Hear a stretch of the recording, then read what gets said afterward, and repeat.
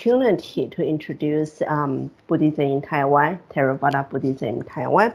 And uh, I will talk about this in terms of four topics. First of all, of course, about history, and then the two groups, the one established by foreign monks and the ones established by Taiwanese monks, and the factors why people in Taiwan may be interested or even attracted to Theravada Buddhism. And then lastly, if I still got time, stop me if I don't.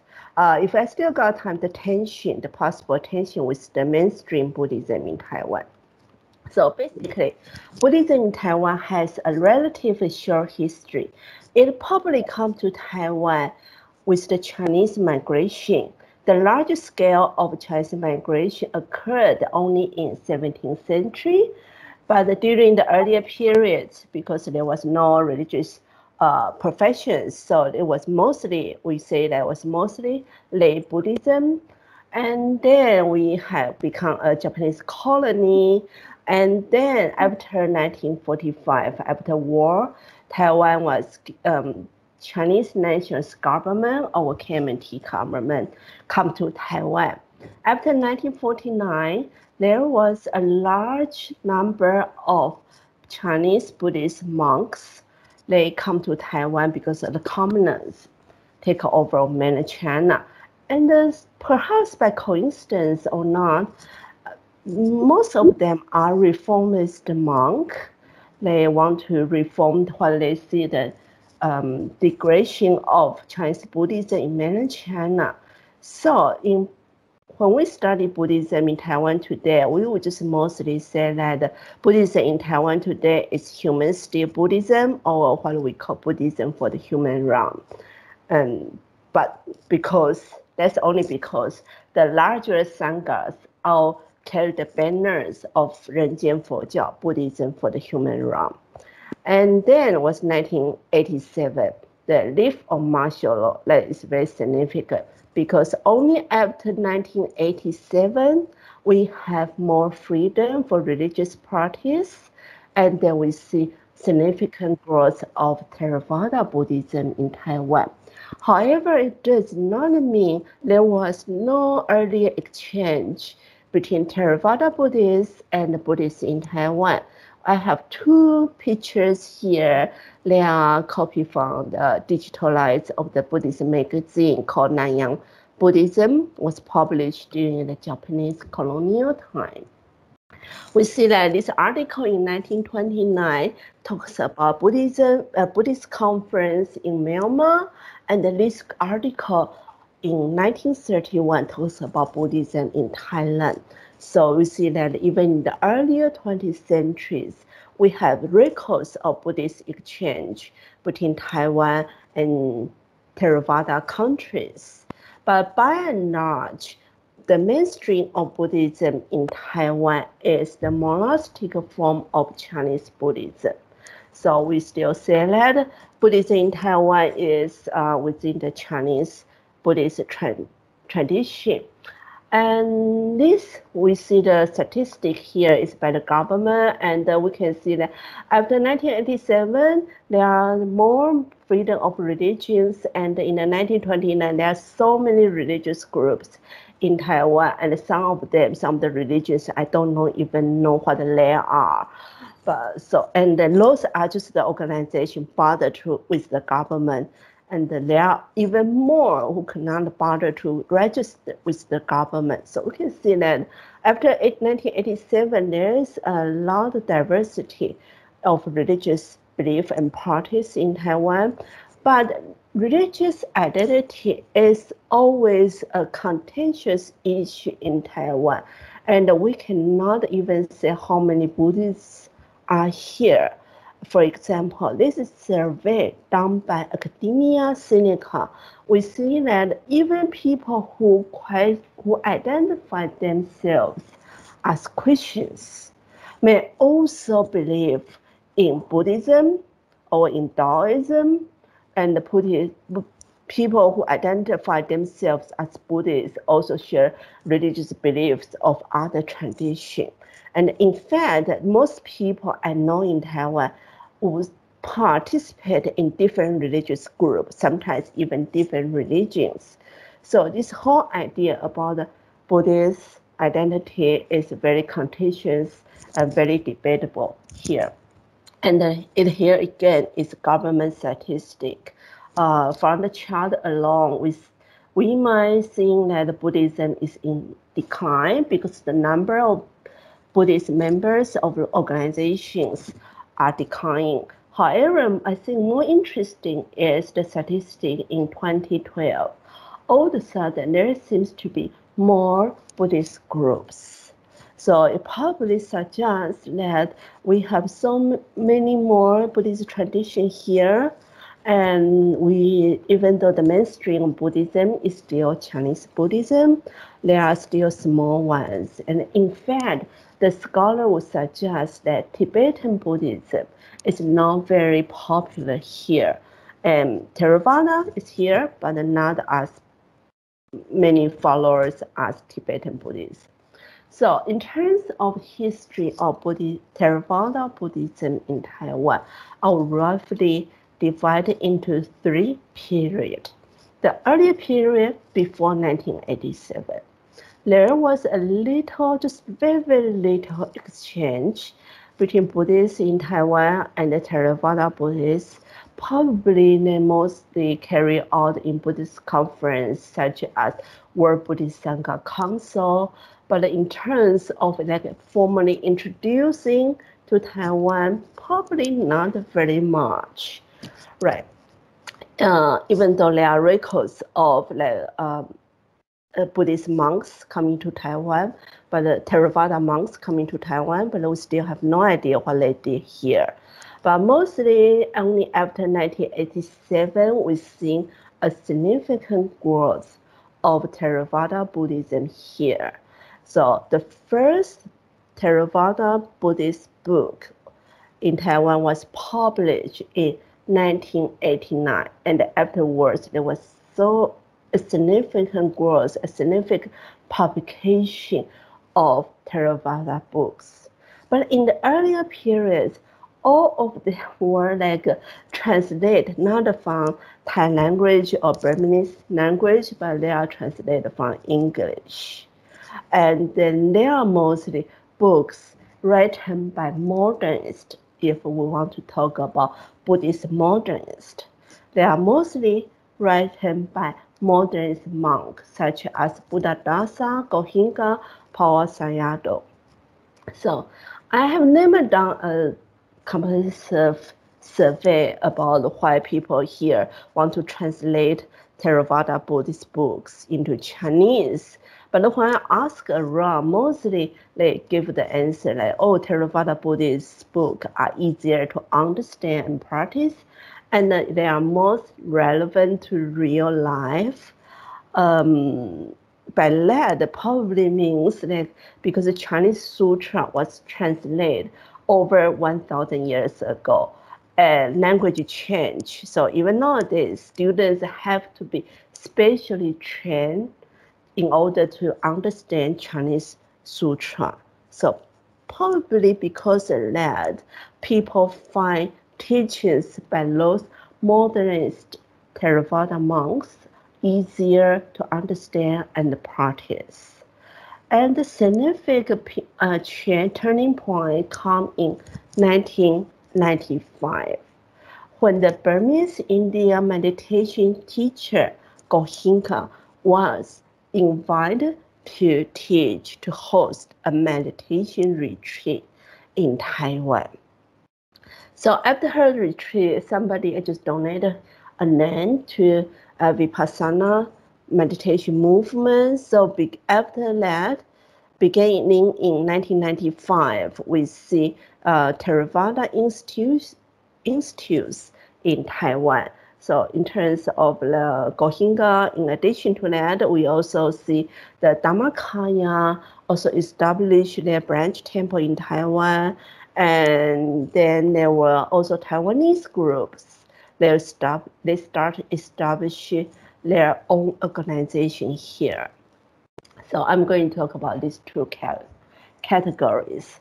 The ones established by foreign groups And they are mostly, some of them are transnational groups. So something like uh, Dhammakaya Temple from Thailand. They come to Taiwan mostly for missionary purpose or um, for caring for the Thai migrants because there is actually a significant number of Thai migrants in Taiwan. So in Dhammakaya temple, it's interesting is that you see also Thai devotees and local Taiwanese devotees practicing together, and they also invest a large amount of time translating their texts into Chinese. So Dhammakaya, I nowadays have more than one temples and quite a lot, mostly in where there is a large number of Thai migrants. And there are also the division temples for Goenka and also for Pa Auk Sayadaw. Pa Auk Sayadaw actually come to Taiwan until recently. He actually come to Taiwan almost every year to host Dharma talk and meditation retreat. So those groups are more interesting, are most likely like a missionary. They're trying to introduce their Theravada Buddhism to Taiwan. And very few are established by Theravada students in Taiwan, like this monk, Chandima from Sri Lanka. He was in Taiwan as a student at the beginning in 1989, and then he stayed. He established his own temple in Taipei, and it would become so successful. It, he actually was able able to establish a Buddhist university back home in Sri Lanka. All these groups share the com, uh, common characteristics like they emphasize or promote meditation, meditation practice. So if you read all those academic research papers, they will say, oh, why Taiwanese are interested in Theravada Buddhism, meditation, meditation, meditation. But based on my informal, unscientific observation with Dhammakaya and the Chandimas temple, actually reach, reach uh, the idea of making good karma is also very important.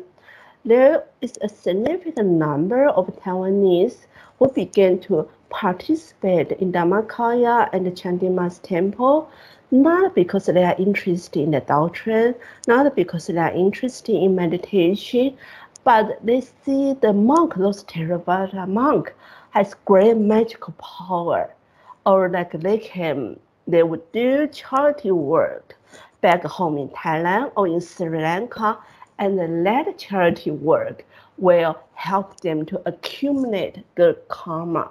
So this is also one aspect that is not so much mentioned in scholarly uh, discourse. And then there's Taiwanese group. The, there are actually, as far as I know, maybe there are small ones, I do not know. There are two Theravada Sangha established by Taiwanese monks in Taiwan. So one is called Dhammaran, the other is called Sambodhi Sangha. They or the both of them emphasize that they are not Theravada Buddhism. They are original Buddhist organization. So you see, Sambodhi Sangha, their, um, their association is actually called Original Buddhism Society. So they all advertise themselves as original Buddhism. They, they strive to search for original Buddhism and they also emphasize meditation. Meditation is a main focus of their Sangha. They host regular meditation retreat for lay people. They regularly invite meditation teachers from Myanmar, from Thailand, or from Sri Lanka to, to teach in Taiwan.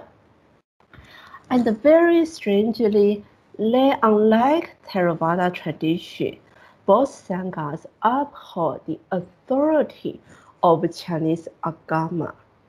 I think that for them, they perceive Chinese Agama also a sutra from earlier Buddhist history and therefore reflect original Buddhism. So there's this drive for searching for original Buddhism, but the most interesting or most significantly is their international tie. The founder of Dharma Sangha spent many years living in the United States, and then he was ordained in Thailand, and then in 1996 he come back to Taiwan to establish uh, his own organizations. And then there's uh, the founder of Sambodhi Sangha. He spent many years doing meditation and trained in Myanmar before he come back to establish his own organization. So you can see that English plays a very important role here. And then there's this uh, international time. But most importantly is this whole idea of original Buddhism. So original Buddhism, I can see, is um, it's kind of this Orientalist idea that Mahayana Buddhism was historical, historical later development, and perhaps is um, not real Buddhism at all. And someone who is influential and uphold believe this idea is Master Tai Hsu. Master Tai Hsu was this reformist monk in mainland China at the turn of the 20th century. He influenced many Buddhist leaders in Taiwan um, of later time, of later um, 20th centuries. So today we see that um, Buddhi, the mainstream of Buddhism in Taiwan is what we call Buddhism for the human race. That idea actually comes from Master Tai Hsu. And Master Tai Hsu has this idea of original Buddhism, and somehow he idealized Ceylon or Sri Lanka. Earlier was this um, belief that uh, Ceylon is where you can find original Buddhism. So he actually sent his monk disciples to study in Ceylon. And unfortunately, all of them disrobed later on. However, it's not entirely a failure mission. Some of them disrobe and convert to another religion. Some of them disrobe and become very important translators of Theravada texts. For example, one of the one of the stu- uh, monk students who went to Ceylon is Ye Jun, is known called Ye Jun. He translates so many Theravada texts that almost every textbook I use for my Theravada class come from his translation. But in any case, this idea of original Buddhism linger on and is still being perceived and promoted in Taiwan today. So for example, we see this nunnery, it's called Nanlin Nunnery. So by the look of it, you see them dressed in Theravada robe. And they also have a Theravada style stupa. However, they study Mahayana texts. They chant Mahayana Sutra and study Mahayana doctrines. And for them, the, the reason to follow Theravada Vinaya, not because they convert to Theravada Buddhism, but because they are actually trying to uh, practice what is original Buddhism. So there's this influence of original Buddhism, but then urbanization play a very important role here. Uh, I read from somewhere Taiwan is the second highest population dense country in the world. And so most of the people in Taiwan actually live in cities of western coast. And so it's so dense and what happens when you live in cities is that you lose this connection with what we call ritual circle in their home village. So scholars of Chinese religion would suggest that in Chinese religion, orthopraxy is more important than orthodoxy. It's not about what you believe, but about your content, content and about what you practice. And uh, since they move to cities, they become um, disconnect with their home, their home village ritual circle, and then they will begin to participate in religions that are less associated with localities. And meditation is one of it. So we see all those uh, these Theravada groups, they stress the importance of meditation. And then so people from the cities could just take seven days or 10 days off from work and go to those meditation centers and sort of have a break there. And since the meditation teachings at the beginning don't really focusing on religious aspect, some of them who participated in meditation would not consider it as Buddhist. Only later on, if they participated in more and more meditation, they probably would switch from this idea of orthopraxy and move into a more orthodoxy doctrinal doctrines uh, discourse. Sorry. So meditation is a very important, and of course, Buddhist rituals, Buddhist ceremonies, unlike traditional Chinese religions, do not focus on a locality or like a certain village or certain families. It's quite universal, so it's easier for people who participate in Buddhist, uh, Buddhist uh, ceremonies. So I would say urbanization also contribute to the growth of Theravada Buddhism in Taiwan. And this also something localization. Localization not just means that you translate everything from Pali or from English into Chinese, but also means you can somehow connect with people, the Taiwanese people who do not have very good concept about Buddhism. Like I said earlier, in the Chinese religion, orthopraxy is more important than orthodoxy. So most of people will not know the difference between Mahayana or Theravada. They will attract to Theravada groups for all kinds of reasons. Meditation is one, but the rituals is also another one. So this is this Sri Lanka group, uh, founded by the monk I talked about this before, Chandima Thero. And here is the photo. He's taking the photo with a Pure Land monk and also a Tibet a monk from Tibetan tradition who come to visit his temple. Uh, he's one of his group is one of those who localize most in Taiwan. So we see in temples there's also shrines of um, Mahayana Chinese Bodhisattva, which you don't really see in Theravada groups. And you also see they have this Zhongyuan Fa Hui, which translated into English as Ghost Festival. And so it was carried out mostly in terms of Chinese ritualistic um, style. That you have written here, uh, this where you you transmit your merit to and you burn inside in the way Chinese Chinese would do. However, throughout my almost 20 years association with this group, I've never seen it doing any uh, chant anything that is Mahayana. Everything they chant or teach come from Pali text.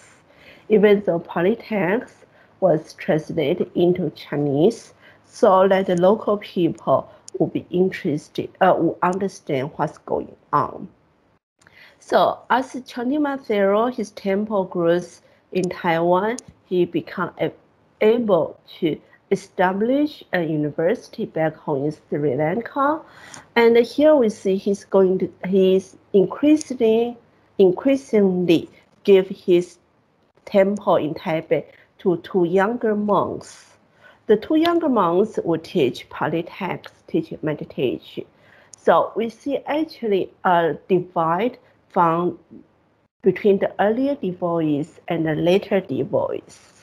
The later devotees who attend Pali study course or attend the meditation course will be come out will be more um, will be more strict about Theravada followings. Like they will insist on not to worship Bodhisattva or the wearing white during puja or they will insist uh, not to participate in other religions.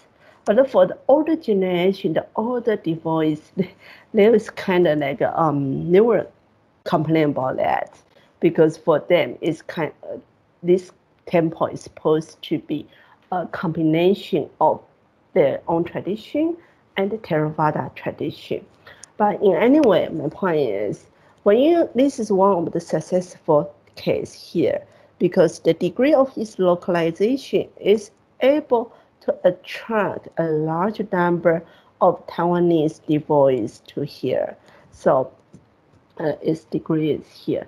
And then you must ask if there is any tension between Buddhist establishment in Taiwan and those Theravada Buddhist groups in Taiwan. Uh, the point to begin is that we must understand there is no central Buddhist authority in Taiwan. That means there's no one government body can tell you, oh, this is wrong, this is right. So pretty much, even if there's tension, it occurs only in social media, in internet. We don't face, we, there is no face-to-face conflict. So in terms of the tension, very interesting is the feminist critique. Many people here, uh, as far as I can tell from internet, will feel very uncomfortable how the meditation center in Burma treat women or even this photo. This photo, the first photo here is especially interesting. Here is Pa Auk Sayadaw, and here is the most active, um, most advocate, sorry, uh, most aggressive feminist nuns in Taiwan, Venerable Zhao Hui. She is a social activist and she is very vocal about feminist issue from Garudharma to Bhikkhuni ordination, even to legalization of same-sex marriage. She support that. And for some reason, she and Pa Auk Sayadaw had a very good relationship. Pa Auk Sayadaw, whenever he come to Taiwan, he would go to her nunnery to preach or host meditation for a few days. So we can see this, even if there is attention, it's always kind of exists only in internet. People don't really do that face to face. But most in uh, tension will come from the Taiwanese Theravada groups. They have the strongest anti-Mahayana sentiment.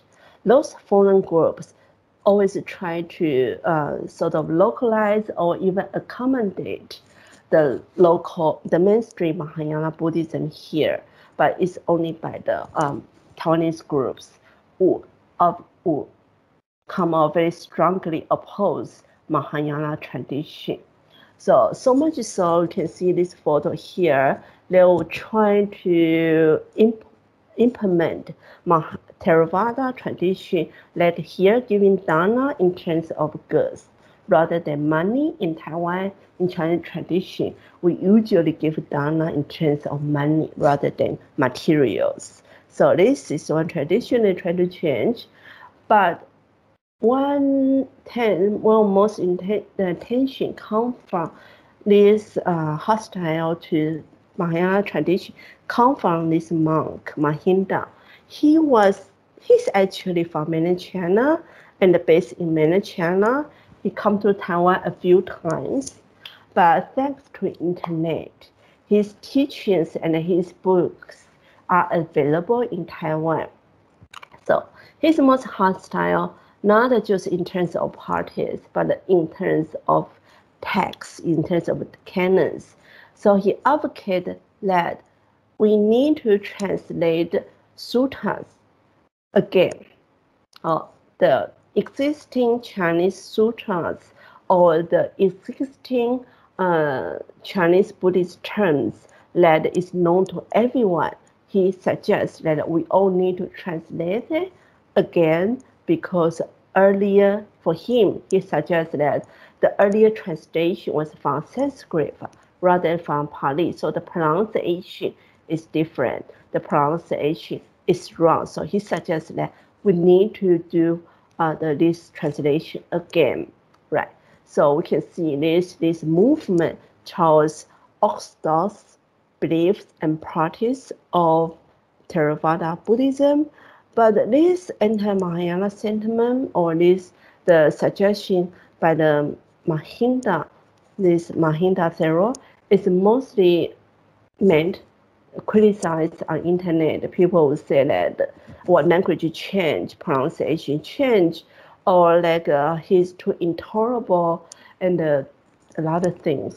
But anyway, this kind of tension still carry on, but it's not to face to face uh, conflict.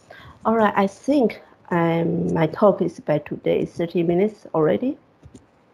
Right, thank you. I will end it now. Thank you so much, um, Wei. Um, that was so interesting. I learned so much, not just about Theravada in Taiwan and the different groups, but also about the history of Buddhism in Taiwan and a little bit about political background too.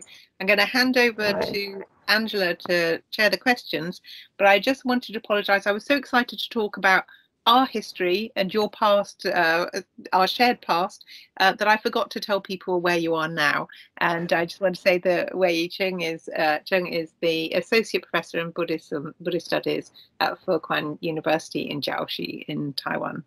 Uh, over to you, Angela. Uh, hi, everyone. Um, Kate, I need to ask you one question. Uh, are you going to record the Q&A from here? Uh, yep, we're going to carry on recording. Um, so if people don't want to be recorded, if they could use the chat and we'll read it out, if that's okay. Olivia said she's going to look look at keep an eye on the chat. Um, okay, great. So uh, so if you don't mind being recorded, then please use the uh, hand uh, hand icon on the floating menu bar on your screen to ask your question, uh, or you may use the chat to to type your question. And if you don't want to be recorded, uh, then it's better if you use the chat to ask your question. Um, so now we'll we'll open for questions. Uh, I see Kate's hand raised, but uh, as she's the host, is there any guests that would guests that who we should defer to out of politeness? yeah, sorry, I shouldn't barge in with that. Um, um, if there are uh, other people who would yes, like to, I see uh, Pamoda. Yeah. yes. Yes, can you hear me? Yes, we can. Thank you. Okay, um, so thank you for the talk. Uh, basically, I'm a, I'm a Theravada monk uh, based in, in Malaysia, in Taiping. And uh, I'm very interested, I speak Chinese. Uh, I've been um, in China for several years um, in mainland, and I'm mainly interested in early Buddhism. So that's what we do here. We read uh, suttas in Pali, and I we do a comparative study as well with uh, from uh, Bhante Analayo um, work. And I'm interested in going to Taiwan, and I would like to be able to find some interesting places to go. I, I noted um, I noted those those two Taiwanese group like Dhamma and Sambodhi Sangha, if I if I heard well. And I would be interested in uh, in knowing more about them and uh, maybe having some contact there if it's possible. Well, yes, they are easily uh, you can they are easily to be found on internet. Just key in the Google the keyword their their organization name, then you can find it. are very easy to find. Is it Dharma Rain and Dharma Rain and the uh, Original Buddhism Society. Okay. Um, Yeah. I, actually, maybe I could I send you a mail and and uh, because I, I cannot hear clearly the name. Can you can, can I send you a mail and you can just yes, yes, yes. I have already key in my email on the chat. Okay, very good. Thank Mhm, you. On the chat box. Yes. Thank you. Thank you very much for your for your, You're for your welcome. talk. Okay, thank you. Uh, Kate, would you like to ask your question, please? Thank you very much. Um, I've got two questions, if I may. Um, so first is that you know your book was about uh, about comparing nuns in Taiwan and Sri Lanka. At that point, you were comparing Mahayana nuns and in Taiwan with Theravada Vinaya nuns in Sri Lanka. Um, now it looked like one of your images was of Taiwanese Theravada nuns. So Mhm. can you say a little bit about the presence of Theravada nuns and whether that's a bhikkhuni ordination lineage and how all that has worked out and um, yeah and so yes how the attitude to bhikkhunis in Theravada country translates. So that's my first question. Shall I, I'll come back with a second after you answer that if um, if that's okay.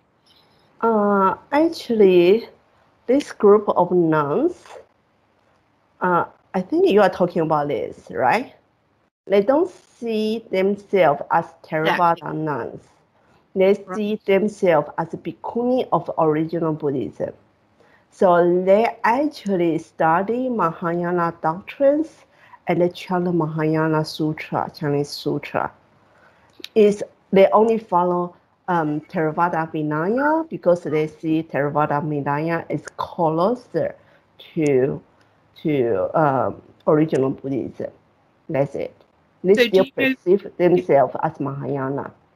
So if they're following a Theravada Vinaya, were they ordained using No, they were ordained in Taiwan in the But- Chinese tradition. in Chinese tradition and then Yeah. adopt? Okay, okay. they adopt the Theravada Vinaya. And then, of course, later on, they will be ordained, same people to be ordained in Sri Lanka, but that was later on, not the, not the senior bhikkhuni. So they do have nuns who've been ordained in Sri Lanka. Yeah, but then they will come back. Yes. Interesting. Okay, Yeah. great. And do any of the Thai traditions have nuns? Mm-hmm. Uh, not bhikkhunis, but Dam, not bhikkhunis, yes. But The Dhammakaya will have Hmm. like um, lay woman, sort of living like nuns there. Great, thank you. My other question is about um, you mentioned um, the promotion by one nun. Sorry, I didn't catch her name of of um, Uh, gay marriage. feminists? and- yeah. and Okay. um, Taiwan is Taipei is famous for its amazing Pride um, parade. Tell, can you t- say a bit about um, Buddhist responses to that, and whether there's any particular difference between, like, um, you know, say Burmese Theravada groups and um, local In terms groups? of what? LGBT? And- Uh, yeah, yeah. Uh, it's actually extreme. Mostly prefer to remain quiet. But the the year leading up to the legalization, the groups that mostly come out strongly against the legalization of same-sex marriage is a religious alliance of religious men from different different religions. And so there are many senior monks were in that group, in that alliance. From different religions, not just Not just Buddhism, there are also Christian priests and uh, Taoist priests, yes, and also Chinese monk.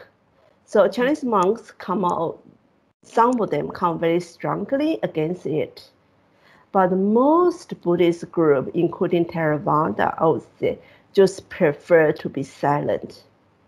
And so, other than the nun you mentioned, it'd be great if you repeated her name, if that's okay. Zhao was Hui. Jiao You Hui. made her. You Oh, made yes, her. You made her Yes, she's very 2007. vocal. She's amazing. Wow. Okay. she's- So, other than her, were there any vocal advocates from the Buddhist community? Actually, no. I would think she's probably the only person. Right. Yeah. Chinese um, Buddhist groups in Taiwan always prefer to stay quiet and out of politics or social or controversial issue. Zhao Hui is the only person who is very vocal. So, yeah. Thank you. Uh, are there any other questions? Uh, perhaps if, oh, somebody, uh, Liz, Liz, uh, would you mind to unmute yourself and, and ask your question? Yes, I'm, I'm, I think I'm unmuted. Um, yes, thank you very much for your talk. I found it very um, interesting. thank and you. um, but I missed a little bit of the last um, talk because our, our telephone call came in. But um, so I hope my question hasn't been asked. But um, you spoke about the the kind of anti Mahayana um, kind of sentiments that come from some um, Theravada Buddhist groups within within Taiwan. Um, and I'd like to ask um, what kind of response to the um, perhaps a Theravada critique is coming from um, bodies such as Fo Guang Shan and perhaps. Are they just ignoring it, or are they? Is there a sense in which they are, in some ways, responding to that um, critique or, or the new kind of ethos that's coming in with, with um, Theravada, almost Theravada exclusivism? I would say they mostly just ignore it because most of argument or conflict occurred only in internet. So basically, everybody just doing whatever they want since there there is no central Buddhist authority here, and there are actually a lot of more new Buddhist groups, what we might call new religious movement in Taiwan than Theravada. So mostly they are just ignored. And the critique would be very few critique would be like, um, for example, if you want to translate whole Chinese, uh, the whole Tipitaka again, people ask, oh, it take too much money, and also language change. So what is the point of trying to come on new Chinese Buddhist terms? That people would say that's no point. Yeah, basically that's it. But mostly people I know they'll participate in both Mahayana and Theravada. Orthodoxy is more important than orthodoxy. That's it. I, I don't know if I answered your question. I'm sorry, but it's not like um, clearly divided here for the Chinese religious identity identities. Not so clearly divided. Thank you. Okay, thanks. Yes, that's okay. Uh, okay, we have a we have a question Wei from the chat, and it is: Does original Buddhism also exist in other countries than Taiwan? Did those nuns also took Bodhisattva vow in Mahayana traditions? Uh, well, the second question, the nuns, do you refer to the nunning nuns in my slide? If that's the case, I think the answer is yes. They still see themselves as Mahayana nuns, but they just think Pali, Pali Vinaya being closer to original Buddhism. Therefore, they observe Pali Vinaya. But other than that, they think they are Mahayana. And I think the original Buddhism, the idea of original Buddhism, yes, is shared by many countries. Um, I think Professor Gombrich has written something about that in terms of the history, especially in Sri Lanka at the turn of 20th century. Yeah, so it's it's actually very popular Orientalist view. Yes. Okay. Um, are there any other questions? Uh, maybe if there are none at this point, I will ask one. Um, can you? Wei, I'm interested in the the slides that you showed about the hmm uh, uh, the breakdown of people's religious beliefs and the contentions that you described. Right. Um, are, what what is the number of people who say that they have no religion in Taiwan? Is that something also tracked? Uh, I think I think the number, the percentage is very low. percentage is very low. And also for that, because that survey is conduct was conducted by Academia Sinica, every four years they did this kind of survey. And they don't actually ask people what is your religious identity. They will ask like in details, do you believe in karma? Do you believe in um, ancestral worship? Do you believe in God, Almighty God, this kind of thing? So that's how they come up with this, tab- mm, this table about like how people actually would believe in different things, different even if they have one religious identity. And they also found that even people who identify themselves as atheists who actually believe in ancestor worship and karma. So it's not necessarily strictly divided. Yes. Right. Oh, it's interesting. Um, and, and another question is, um, what is the attitude generally in Taiwan to ordaining for religion? Is this something that is seen as uh, high status or very positive or, or weird or, or, or what? Uh, that's difficult to answer unless there's a survey. I don't. I haven't really seen any survey about this, but uh, I think throughout the years, in terms of Buddhist circle that I'm mostly encountered in, it become more and more friendly towards people who are ordained into sangha. But if you are not a Buddhist, if you are just following followers of Chinese religion, the idea of being ordained is still very uh, frightening and still being hostile against. Mm, interesting. Thank you. Um, I believe that Kate has a question. Hi, uh, yeah, I don't want to don't want to hog the airway, so please interrupt me. Anybody else who wants to talk? I, I was just um, thinking a couple of things about your recent uh, special section on um, transnational Buddhism. Yeah. And one of the um, things that came out of that is the association between Buddhism and um, business, um, so international business, where it, for other groups going elsewhere, Taiwanese groups going elsewhere, but in uh, in the case of Theravada in Taiwan, there seemed to be a strong association with universities rather than business. Is that a correct picture? And my other question is that um, given the one of the distinguishing features between um, Chinese monasticism and Theravada monasticism has been a vegetarian diet. Can you say a little bit about how that works out with the Theravada in Taiwan? All right. You mean first question coming out from university? Uh, oh, yes, I don't suggest some- that from Theravada. that Oh, a couple yeah, of the the monk, Theravada the monk. temples that set up there actually were monks who started off going Oh, to Taiwan to study Yes, university. Uh, Um, I think those- that is for the foreign, the foreign monk, the the Thai monks, and also Sri Lanka monks, because that's the easier way to get a visa. Basically, if they are student here, then they can get a student visa and stay here for up ten years. Then they might actually stay behind afterwards after graduation. I'm, I'm laughing because I think my first attempt to teach Sanskrit, which Richard will remember, was to Taiwanese nuns Uh huh. who registered to do a degree in order to get the visa to start their temple. yeah. Maybe yeah. And and could I ask about then about vegetarianism among. Theravada monastics or Theravada inspired monastics, uh, particularly Yeah. actually the group that thinks Theravada Vinaya is more original, uh, because presumably then that would counter a vegetarian practice, but I assume they are No. vegetarian. No, no, they are not. At least I in the website they would say they would teach you like, oh, we will take whatever is given. So they are not strict. They will not ask to be vegetarian, but because the vegetarianism is such a long tradition in Chinese Buddhism, I observe that most devotees will still give uh, vegetarian food dana rather than non-vegetarian food, non-vegetarian meal. Yeah. Thank you.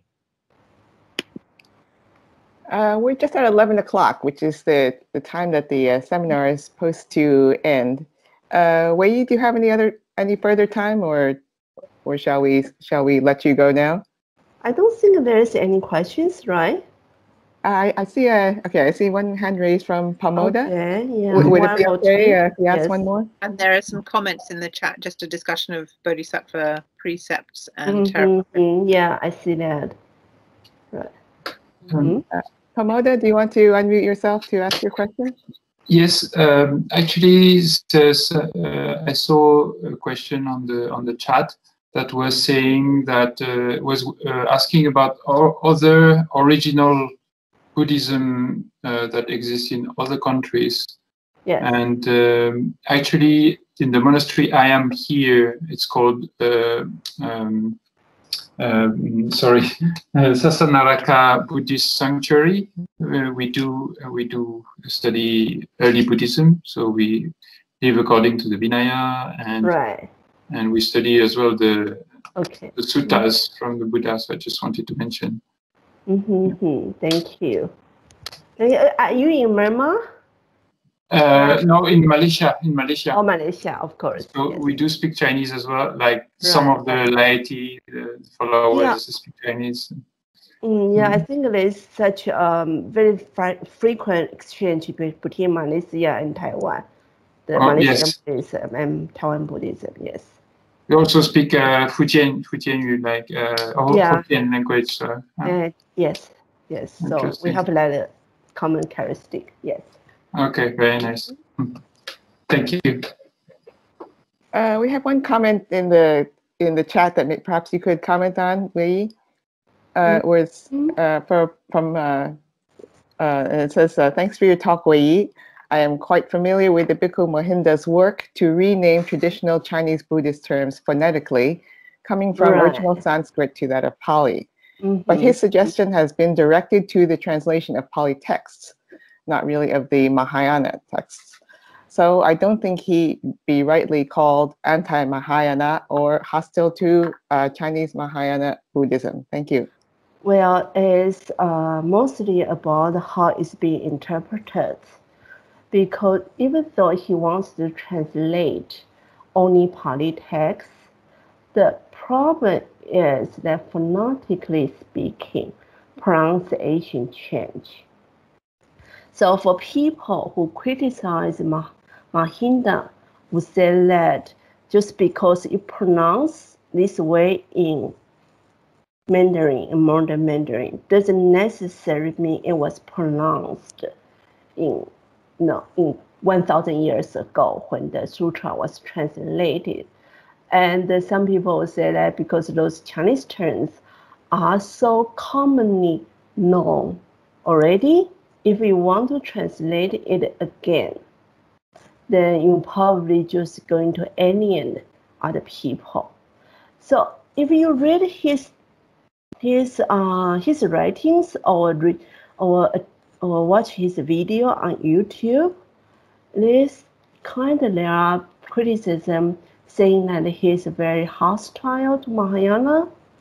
And so that's why I say it's anti-Mahayana because he actually say that the Mahayana is Sanskrit and that. Thank you. Yeah, I'm sorry. I'm, I don't know if you understand what I meant, but that's what I think. Yeah. So is that Okay. okay? Great. Right. Okay, well, um, if there are, are there any other questions?